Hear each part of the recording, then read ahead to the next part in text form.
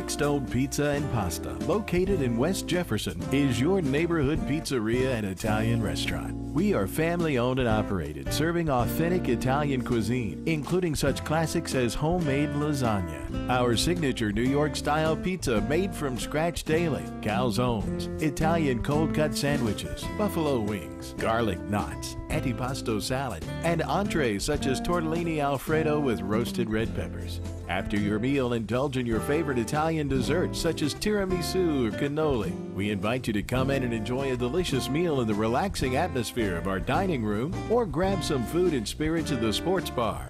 Brickstone Pizza and Pasta, the family Italian restaurant.